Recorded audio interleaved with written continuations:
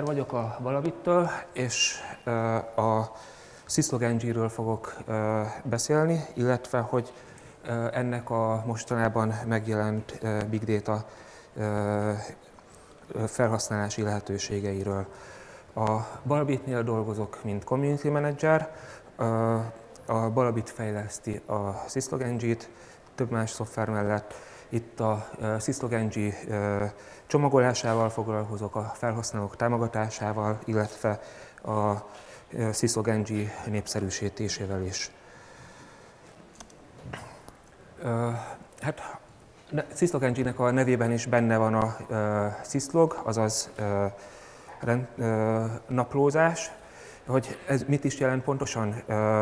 Alaphelyzetben azt jelenti, hogy a számítógépen történő eseményeket rögzítjük valamilyen módon. Tehát itt kivetítőn lehet látni egy SSH bejelentkezést, ezt még sokszor fogjuk majd későbbiekben látni.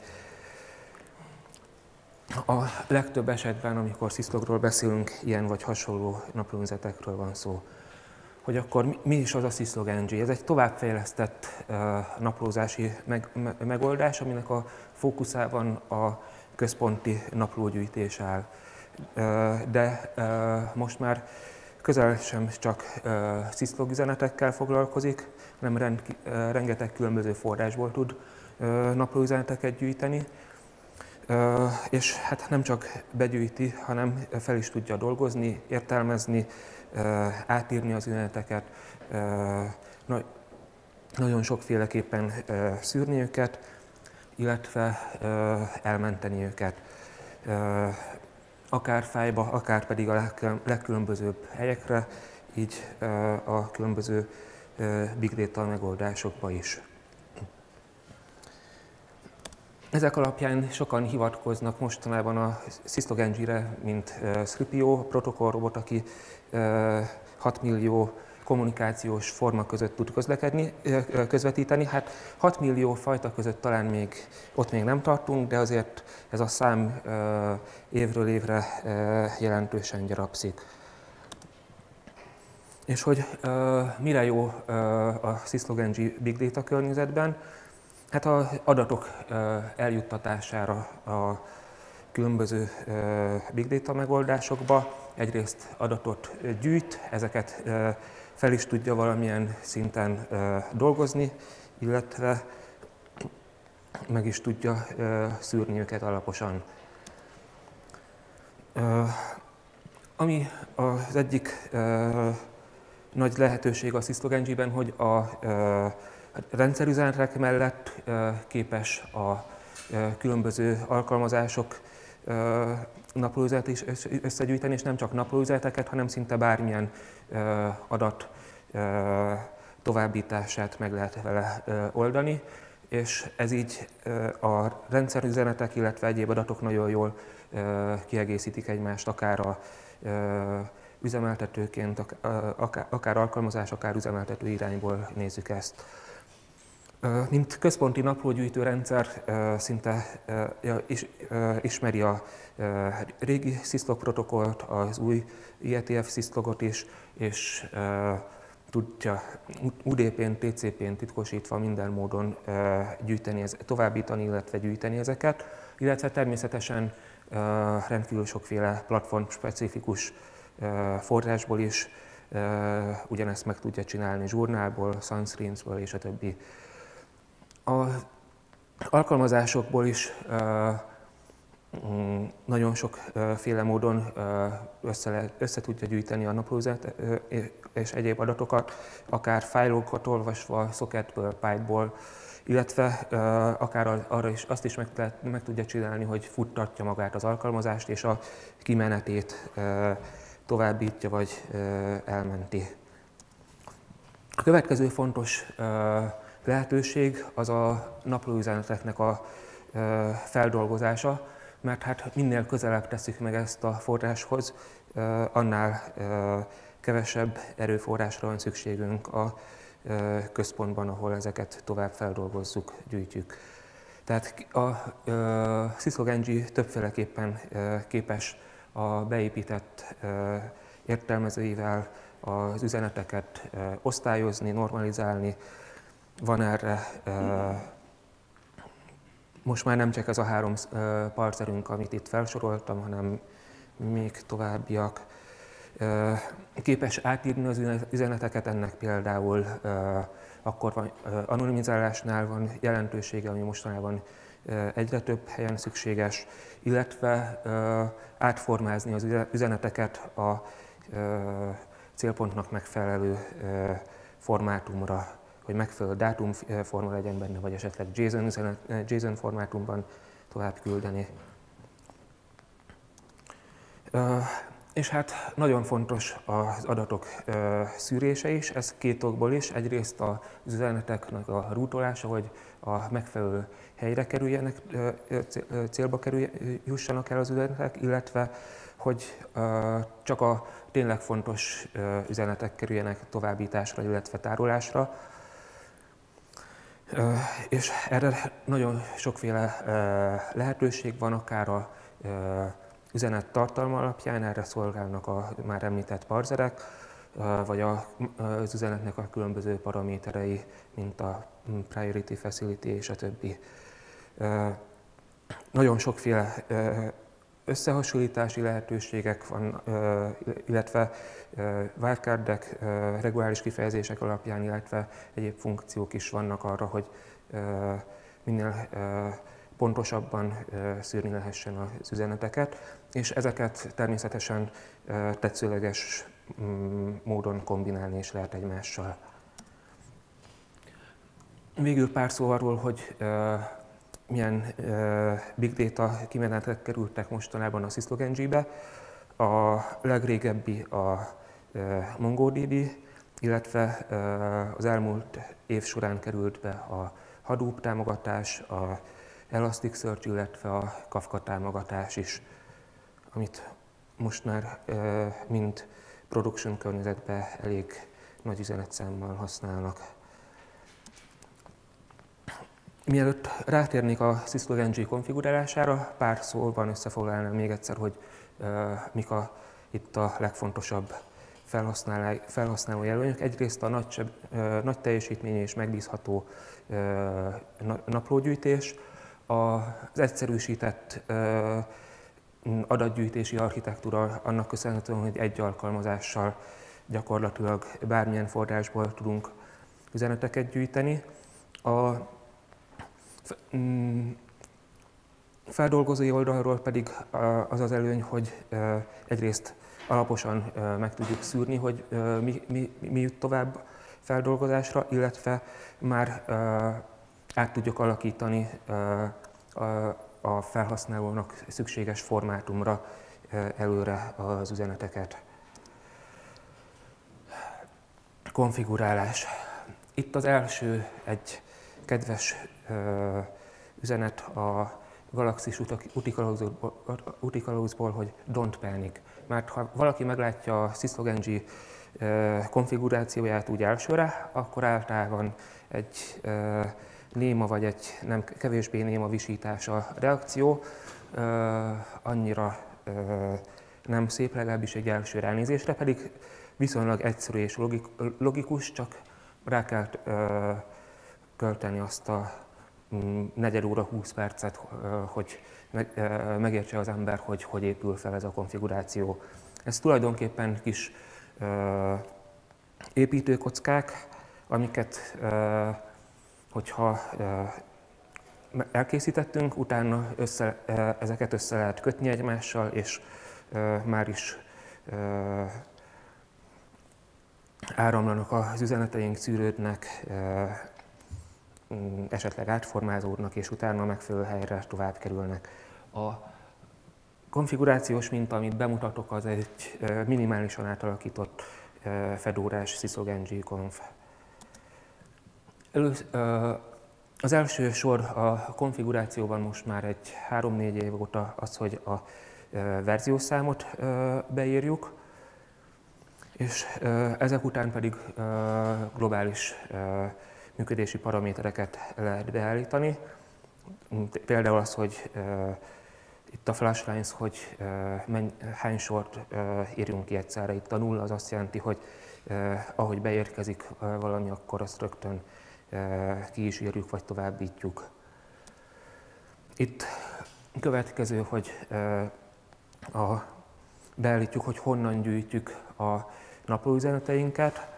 Itt a System az egy ilyen Jolly Joker jellegű beállítás, mert hogy ez elfedi azt, hogy hányféle különböző platform specifikus forrásból gyűjtünk üzeneteket. Ez, ha van zsurnál, akkor onnan gyűjt, ha nincs zsurnál, akkor devlogból gyűjt, hogyha ugyanezt a konfigot, ha egy szanos gépre átmásoljuk, akkor a Sunstreams-ből gyűjti az üzeneteket, ha FreeBSD-re ott is a megfelelő fájlokat megtalálja. Tehát ez arról jó, hogy elfedi a felhasználó az, hogy most éppen honnan érkeznek a rendszerüzenetek. Az Internál az a Syslog Engine-nek a saját belső üzenetei.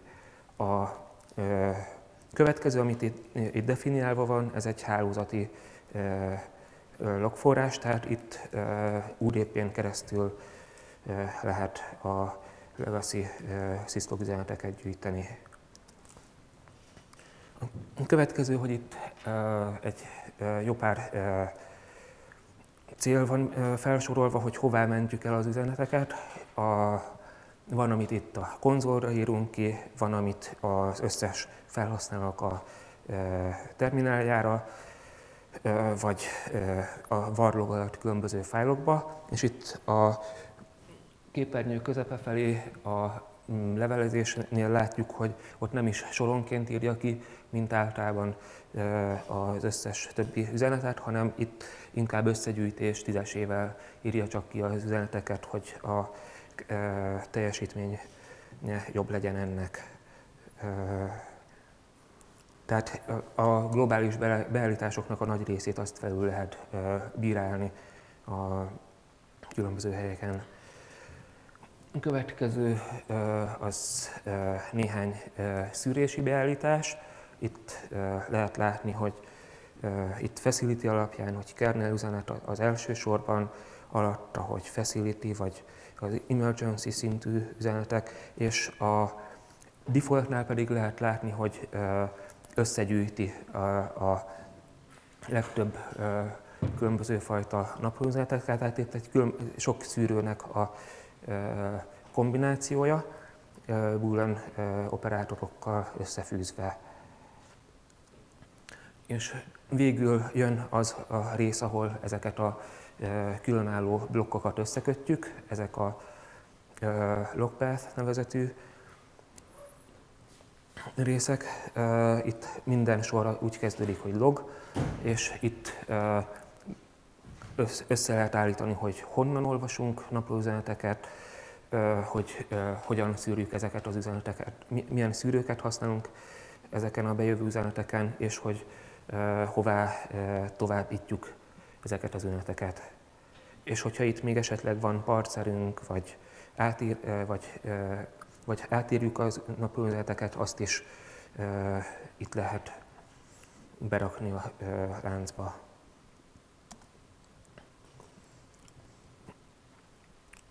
Egy picit szeretnék mesélni a sziszlog üzenetekről. Mm, mint a nyitó szlájdon is láthattuk, a legtöbb üzenet az úgy épül fel, hogy van valami dátumrész, egy hostnév, esetleg egy parancsnév, de már az nem mindig, és utána valamilyen szöveg. Ez a szöveg ez általában egy angol mondatszerűség szokott lenni, van, amikor teljesen komplett alanyállítmányjal minden, és ebben van néhány változó rész. Ha itt megnézzük ezt az SSH üzenetet, akkor látjuk, hogy a keyboard interaktív az az, hogy, hogy milyen módon jelentkezett be, a root az a felhasználói név, a, ott van egy localhost, hogy honnan jelentkezett be, illetve a portszám, hogy mi volt a forrásport. Ezt, hogyha emberként olvassuk, úgy nagyon könnyű és nagyon kényelmes, sokkal jobb, mint egy JSON formátumú üzenetet olvasni, viszont hát ha arról van szó, hogy ezt elemezni kell, akkor már e, sokkal macerásabb. Tehát mondjuk egy forgalmas szerveren e, másodpercenként sok száz üzenet beérkezik, vagy akár több ezer, akkor abban már sokkal nehezebb megtalálni, mert hát egy IP cím, hogyha rákeresünk, az lehet valaminek a, valamilyen eseménynek a forrása, célja is, de lehet a logüzenetnek is a forrása, tehát elég sok helyen szerepelhet. Ezért mostanában egyre gyakrabb szerencsére a struktúrált naplózás. Itt az eseményeket nem szabadszavas kerek angol mondatokban írjuk le, hanem névértékpárokkal. Tehát a már említett SSH üzenetet is le tudnánk úgy írni, hogy source IP valami, alkalmazás név SSHD, felhasználói név root, login, login az failed, és a többi, és a többi, tehát névértékpárokkal ugyanezt le lehetne írni.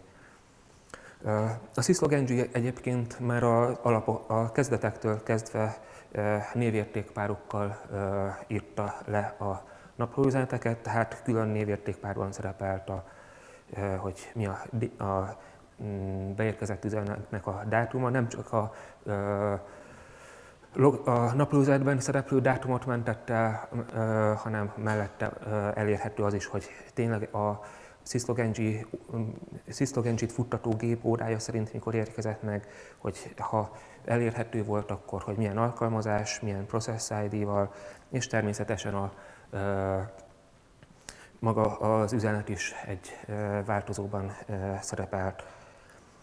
És ami egy, amit már említettem az előadásom elején is, a Syslog-NG-ben van nagyon sokféle parser, tehát adatértelmező, amivel akár struktúrált adatokat, mint JSON-ben érkezett üzeneteket, vagy CSV formátum üzeneteket névértékpárokká lehet alakítani, de meg lehet oldani azt is, hogy struktúrálatlan adatot, mint például ez a SSH üzenet, vagy bár, bármilyen más sziszlog üzenet, az szintén értelmezhető legyen és névértékpárokká lehessen alakítani utólag.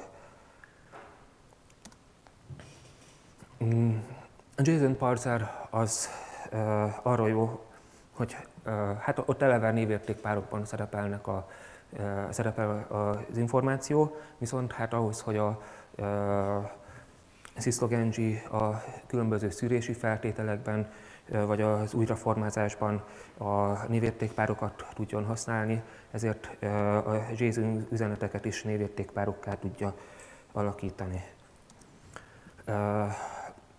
A CSV parcer az eredetileg ilyen veszővel elválasztott fájlokat volt képes, tehát ilyen oszlop formátumú adatokat volt képes névértékpárokká alakítani, alakítani Mostában a leggyakoribb, felhasználása az az, hogy Apache, illetve egyéb ilyen mm, mm, webszerver logokat lehet vele könnyen feldolgozni. Itt egy olyan példát látunk, hogy a, az Apache-nek az, az, az access loga van feldolgozva, és a alsó sorban lehet látni, hogy úgy menti el a beérkezett üzeneteket, hogy a fájnévbe belekerül, hogy milyen felhasználó, milyen felhasználói névvel volt bejelentkezve, aki éppen böngészett. És hogyha nincs nem volt bejelentkezett felhasználó, akkor pedig egy no user nevezetű fájba ment. A PatternDB-vel lehet a struktúrálatlan üzeneteket feldolgozni, és segítségével a fontos, fontosabb információkat névértékpárokká alakítani. A, nem csak a benne lévő konkrét információkat lehet névértékpárba rakni, hanem új névértékpárokat létrehozni a, a szöveg alapján. Tehát például, hogyha látszik, hogy egy sikertelen SSH bejelentkezés volt, akkor mondjuk azt, hogy status failure, vagy hasonló megoldás, illetve lehet osztályozni is a naplóvezeteket, mint a logcheckben. Ahhoz, hogy ez működjön, ahhoz persze szükség van ahhoz, hogy, arra, hogy a a naplóvezeteinket leírjuk valamilyen módon. Erre most XML fájlokat kell készíteni, ebből van mm, már kész, elérhető a GitHubon is jó pár, és ha valakinek saját logója vannak, akkor ezt bármikor lehet tovább bővíteni. Ami mostanában egy, egy, egy egyre fontosabb szempont a naplózetek gyűjtésénél, az, hogy ennek meg kell felelnie többféle előírásnak, törvénynek, tehát Eurója a bankvilágban ott a PCI DSS, tehát a kártyaszámokra kell nagyon odafigyelni, hogy ne, ne kerüljenek ki a rendszerből naplőzetekbe se, illetve Európában egyre fontosabb a különböző privacy jellegű szabályozások, tehát hogy IP címeket, felhasználói neveket nem szabad blokkolni, ez főleg németeknél jellemző, de máshol is most már egyre gyakrabban. A érzékeny adatok megtalálására több módszer is létezik.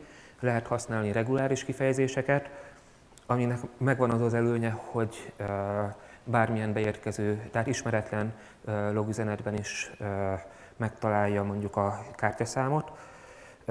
Cserébe viszont sok, egy eléggé lassú, mert hogy minden egyes beérkező üzeneten és minden egyes részén végig kell menni ezzel a reguláris kifejezéssel.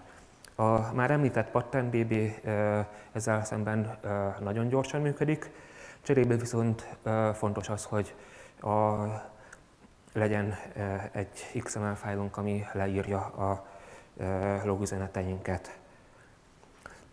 Ha anonimizálunk, erre is többféle megoldás létezik, felül lehet írni simán egy XXX vagy egy tetszőleges karaktersorozattal, de ezt is meg lehet csinálni, ami a későbbi jellemzésnél nagyon hasznos, hogy igaz, hogy az eredeti felhasználói név vagy IP cím nem jelenik meg az elmentett üzenetekbe, viszont az eredetinek, eredeti felhasználónévnek a hashét be lehet rakni a üzenetbe, és így már nyomon lehet követni, hogy ugyanannak a felhasználónak a ténykedését a, a naplóban, még akkor is, hogyha nem tudjuk, hogy pontosan kiről van szó.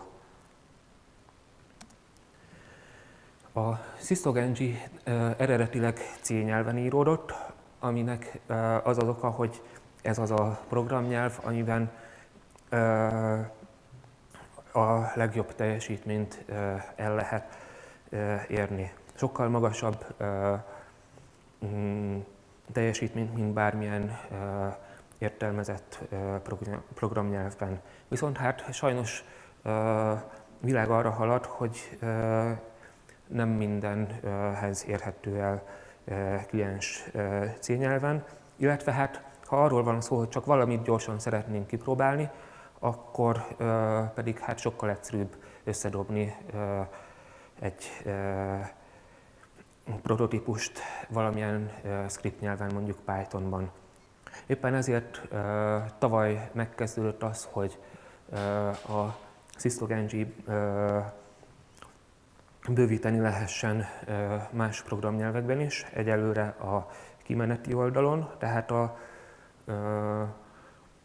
készült most már Python, Java, Lua és Perl támogatás is. Ilyenkor a, maga az értelmező az beépül a SysLog-NG-be, nem külső programként van meghívva, aminek egy, több előnye is van egyrészt teljesítmény oldalon is, másrészt pedig az üzeneteknek a hibakezelését is ezzel sokkal könnyebben meg lehet oldani. És hát uh, itt visszakanyarodunk a uh, Big Data-hoz. A, ennek a legnagyobb része, tehát amit felsoroltam, ott a MongoDB uh, kivételével uh, minden uh, jávában lett kifejlesztve, és bár C vagy Python kliensek léteznek, de azok kicsit lassan követik a tényleges szervernek a, a szerver alkalmazásoknak a kiadását, és a hivatalos kliens is jávában szokott elkészülni, és az, az, amit együtt fejlesztenek a szerver komponenssel. Úgyhogy ilyen okokból a, mm, a különböző big data kimenetek SysLog úgy működnek, hogy van egy viszonylag kicsi Java kód syslog ami csak ar, arra szolgál, hogy a hivatalos Elasticsearch, vagy Hadoop, vagy bármelyik kliens jar fájlokat be tudja tölteni, és el tudja látni adatokkal. És így, ha fejlődik mondjuk az Elasticsearch, mert hát mióta megjelent az Elasticsearch támogatásunk, az még az egyötös környékén készült, most már a kettesnek is a bétái jelennek meg éppen. A Java, Destiny, Java alapú driverekkel kicsit nehezebb elkezdeni dolgozni, mint a mm, többiekkel, mert egyelőre még ezeket a Linux disztribúciókba nem sikerült berakni, már csak azért is, mert nagyon új, de azért is, mert hogy a mm, különböző jar fájlok nem elérhetőek a distrókba, illetve amit használunk a forgatásra, a Gradle, ez szintén nem elérhető a különböző distrókba, de ha minden jól megy, akkor a következő Syslog NG-be már olyan megoldás lesz, ami ezt kicsit megkönnyíti.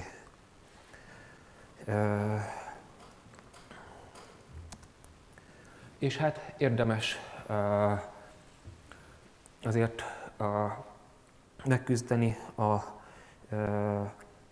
kezdeti nehézségekkel, mert például, ami mm, szinte minden, amikor megjelent valamelyik nyelvi támogatásunk, akkor rögtön az első az az volt, hogy valaki lekódolta benne az Elasticsearch támogatást, mert hát, ha, mert hát az Elasticsearch-be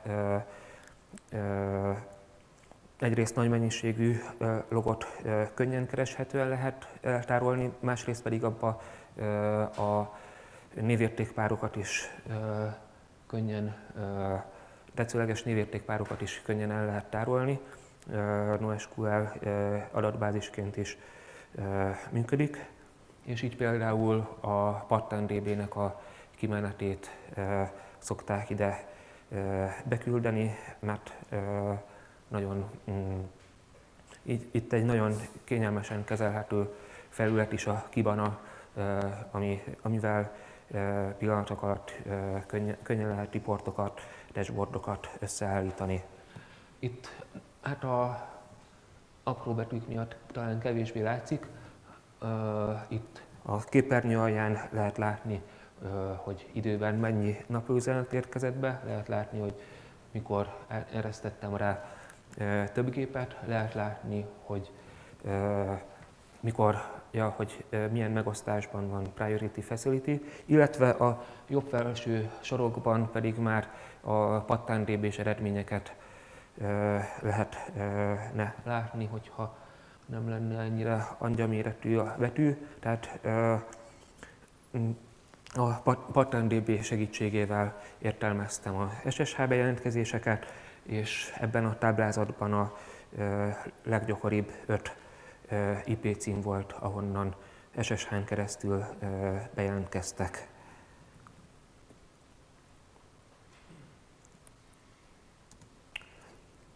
Ha valakinek sikerült felkelteni a Syslog irányba a figyelmét, akkor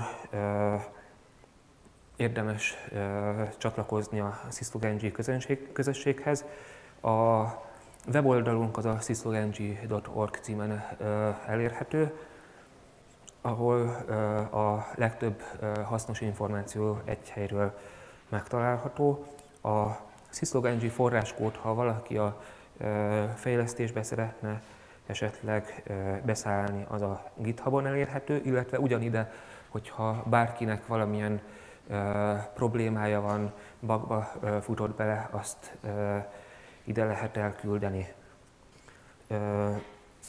Illetve van egy levelezési listánk, ahol ha bárkinek, bárki valahol elakad és segítségre van szüksége, ott, ott lehet kérdezni, illetve ha valakinek nagyon valós, idő, valós idejű segítségre van szüksége, akkor egy-két fejlesztő az mindig elérhető IRC-n is a Syslog csatornán a Freenode-on. Ha itt valaki egyetemista és szoftvert fejleszt, akkor szoftverfejlesztőnek tanul, akkor szeretném felhívni a figyelmét arra, hogy a gyakornokokat keresünk a csapatba, most is vannak többen, illetve készülőben van egy Syslog-NG Universe nevezetű kezdeményezésünk, amiről elvileg, hogyha Balabit standot megkeresitek, akkor még további információt lehet kapni. Itt ez olyasmi, hogy kisebb feladatokat csinálni a Syslog is mentorok, fejlesztői mentorok segítségével. Illetve még Jaj, csak itt megint a kisbetű probléma. Itt a, elme, az, a, az a konfiguráció látható, ami, amivel a kibanába küldtem a naplóüzeneteket. A, itt a tetején lehet látni, hogy uh, itt van egy pattern.db parzár, tehát itt betöltök egy uh, XML fájlt, amiben az SSH üzeneteknek a leírása található, ezt ebből majd minden, mindjárt mutatok egyet. Alatta található egy Elasticsearch kimenetet, hogyan tudunk beállítani. Itt lehet látni ilyen csúnyaságokat, hogy meg kell adni, hogy hol találhatóak a jar fájlok, hogy pontosan melyik klasszot szeretnénk betölteni illetve utána néhány paramétert, hogy milyen, milyen indexbe mentjük el az üzeneteket. Ez azért fontos, mert a kibanában is ugyanezt kell beállítani, hogy milyen klaszterbe töltjük az üzeneteket. A flash limit az arra szolgál, hogy beállítsuk, hogy mennyi üzenetet küldünk egyszerre, és hát a template pedig, hogy pontosan milyen adatokat küldünk el a az Elasticsearch irányába. Látjuk, hogy ez tulajdonképpen egy JSON kimenet, amiben elküldjük az alap sziszlogos névértékpárokat, illetve bármi mást, amit a PatternDB talált nekünk, és a végén pedig a dátumot azt ISO formátumban küldjük el, mert ez, a, ez a, amit a Kibana értelmezni tud, mint dátumformátum. És ha itt megnézzük, akkor itt a, látjuk a log statementet, amiben ezt az összes komponenst összekötjük, tehát itt van, hogy a hálózati, hálózattól beérkezett üzenetek, a helyben gyűjtött üzenetek, utána az egészre ráeresztjük a pattern-db-s értelmezést, és utána a, pedig elküldjük a e, naplóüzeneteket az Elasticsearch-be. És itt lehet látni egy gyönyörű szép XML-t. Jelenleg ebben a formában lehet leírni a naplóüzeneteket. Ez így első ránézésre szintén ijesztő, csak úgy, mint a Syslog-ng konfigja. Viszont egy kis gyakorlással, meg egy jó szerkesztővel hamar túl lehet tenni magunkat a kezdeti egységen. Itt lehet látni, hogy e-, ez itt a mintaüzenet, megint csak az SSH-s bejelentkezés, és utána pedig, hogy ezt hogyan értelmezzük PatternDB-vel. Tehát itt a változó részek helyén van egy, vannak ezek a furcsa dolgok, a mm, kukacok között, hogy milyen értelmezőt engedünk az adott paraméterre, hogy ezt hogy nevezzük el, és esetleges elválasztó vagy egyéb paraméterek. És hát ez megismételve még néhányszor. Itt lehet tesztelni a mm, hogy a patternünk az működik -e rendesen, tehát itt meg lehet adni egy mintaüzenetet, meg lehet adni a mintaértékeket, és akkor ezt össze lehet vetni a hogy tényleg azt kapjuk-e a, a patternunk tesztelésekor, mint amit tesztértékként megadtunk. Illetve itt a képernyőn lehet azt látni, amit mondtam, hogy a szöveg alapján még további névértékpárokat lehet létrehozni. Például itt, hogy a legalsó az az, hogy accepted, tehát az, hogy egy sikeres bejelentkezés volt. Akkor köszönöm szépen a figyelmet.